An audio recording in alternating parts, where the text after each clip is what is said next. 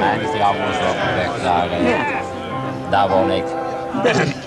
Maar goed, genoeg over wonen, want wij gaan spelen de kerstaflevering van Met het mes op tafel. Een van de kandidaten, mevrouw Van Maak, huisvrouw uit Amsterdam. En niet alleen een geweldige kandidaat, maar ook een van de beste zangeressen van onze kandidaat. U had het op uw eh, aanmeldingsformulier niet eens als hobby ingevuld, zangen. Nee, nou vergeten dan. Ja. Ja, we hopen namelijk deze aflevering nog met een kerstlied te eindigen als we het halen. En u moet ons wel even sterk steunen. Ja, ja. Even een toonladdertje proberen. Nee, Laat maar zitten. meneer Osman, bibliothecaris voor de binnenvaart en de scheepvarende zeevarenden. Jawel. Ja. Kerstliederen werden die bij u thuis vroeger gezongen. Eh, nee, helaas. eh, helaas. Ik weet niet. Ik weet niet beter, maar het werd in ieder geval niet gezongen. U komt niet uit een christelijke traditie. Nee, nee, nee. Uit welke religieuze traditie stamt u als ik vraag Eh, de Mohammedaanse. De niet beleidende tegenwoordig. Ah, dan is het toch ontzettend aardig dat u met ons mee wil zingen Jawel, dadelijk, jawel. als we het halen. Ik doe mijn best. U doet uw Ik best doe en u best. deed geweldig. Mooi. Ja, op het eind van de aflevering hoor. Ook mevrouw Brouwer zingt mee. U bent daar geloof ik nog nerveuzer voor dan voor het spel, of vergis Nou, bijna wel, ja. Bijna wel. Zullen we gaan spelen? Milou zingt straks ook mee, neem er even in beeld. Ja, kom op jongens, pak je drank mee. En laten we ons op het spel gaan concentreren. Want voor het spel zijn we gekomen natuurlijk. Jazeker. Duizend gulden speelgeld, de man. Zeven ronden, na vier ronden valt de armste deelnemer af. Martin zit aan de piano. Zullen we beginnen? Eerste ronde. Ik pak de vragen uit mijn binnenzak.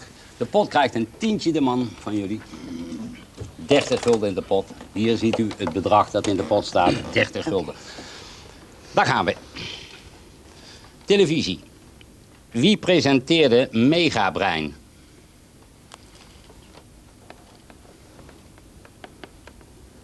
Levende natuur. Meteen een gokvraag. Is een spin een insect?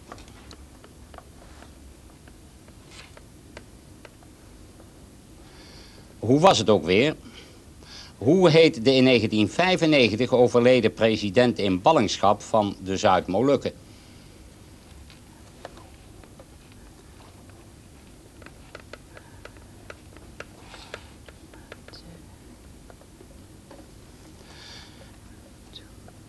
En tenslotte, schrijf maar even rustig door. Ja, prima.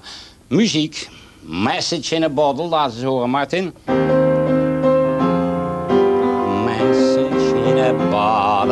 Roxanne, Every Breath You Take. Van welke Engelse popgroep zijn deze nummers?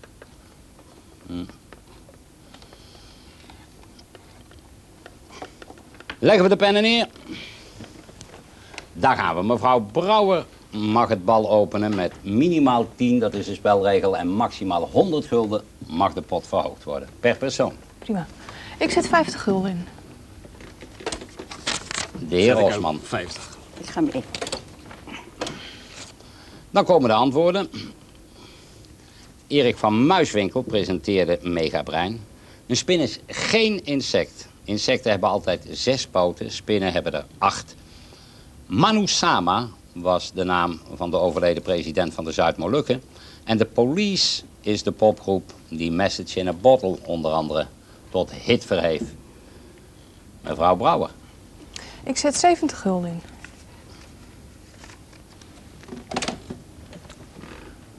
Ik pas. U past en u, u past ook. Dan gaan we de eerste slag naar. Ik begrijp eigenlijk niet waarom de derde.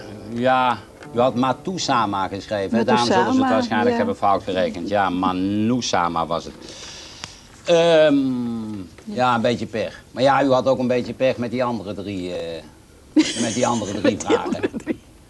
Ze lagen niet Nou, echt in Vanaf nu kan ik alles, weet ik alles. Ja? Ja, vast. Echt waar? Vast. Ja, wij wij gaan dat meteen testen. Zet 40 gulden in de pot. 40. Je moet ook een beetje geluk hebben met de reeksvragen in één ronde. Hè. Als ze een beetje in je straatje liggen. Ja, die verplichte inzet in de pot loopt op. Hè. 10, 40, 70, 100. Iedere ronde wordt dat wat duurder. Literatuur. Jean de La Fontaine is beroemd geworden door het schrijven van een bepaald soort vertellingen. Namelijk.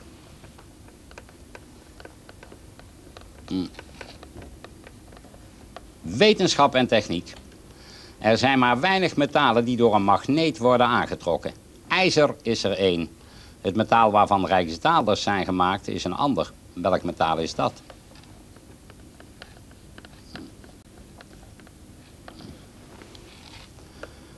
Een vraag voor de kerstsfeer en een vrij makkelijke geloof en bijgeloof. Jozef en Maria gingen naar Bethlehem, maar uit welke plaats kwamen ze eigenlijk? Waar kwamen ze vandaan?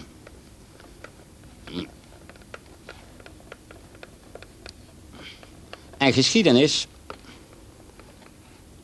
Bent u zover, mevrouw Brouwer? Ik vul het zo wel even aan. U voelt er zo even aan. Welke Franse koningin stierf onder de guillotine?